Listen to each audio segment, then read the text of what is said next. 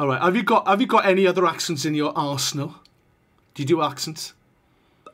That, question you just asked me, I don't know if it's on PC to say this, but I'm going to tell you a funny story about one of my first ever auditions. And I walked into an audition, and and the director, I was so nervous. It was for a summer season job somewhere, and he went to me, "Can you speak any languages?" I said, "Oh yeah, probably about 15, 16 languages."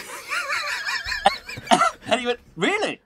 That's that's unbelievable. Can you do French? I said, yeah, uh, of course, monsieur. Uh, bonjour.